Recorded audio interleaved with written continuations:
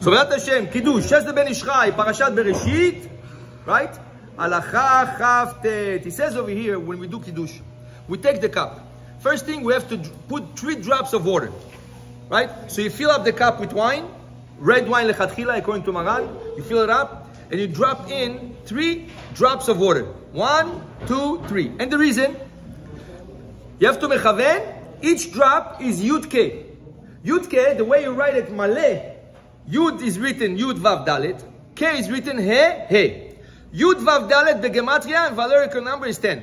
He, He is, uh, is 20. He, He is 10. Together is 30. If I drop three times, 30 and 30 and 30, Begematria, Maim. Maim is Mem Yud Mem, Mem is 40, Yud is 10, and Maim, right? 40, yeah. Now that you, now that somebody, you picked up, somebody gave you the cup, we, we explained already that somebody has to give you the cup, you hold it with two hands and then you take off your hand. Now that your cup is in your hand, you drop the three, three drops of water. It says the Ben Ish Chai, Adam Pashut, a simple man, would look at his right eye into the wine and try to see his eye in the wine.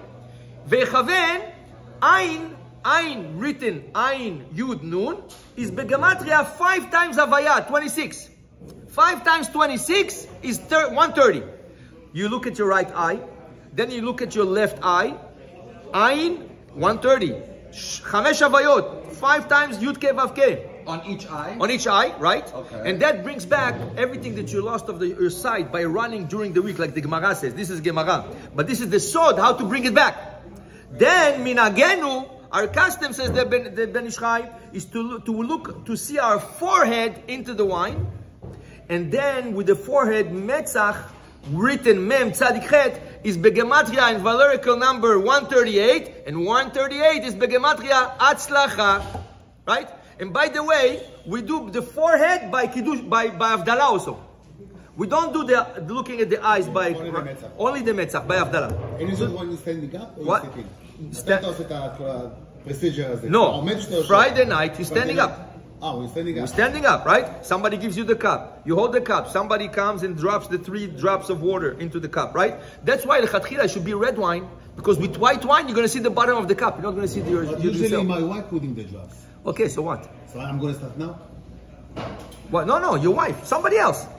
Somebody I else. have to tell her Yes, שהיא צריכה לכוון על exactly. She הזה, has to add the three drops of water, right? ולכוון, כאילו. אתה תכוון. When she drops it in, you think about it. אה? לא, הוא אוחז את הכוס, he's holding the cup. לפני שהוא אוחז את הכוס. בסדר, תעשה. זה, אתה יכול, you can do that. טוב, so we see, that says the בעל איש חי, זה לאדם פשוט. This is a קידוש, this is preparation קידוש for a simple man.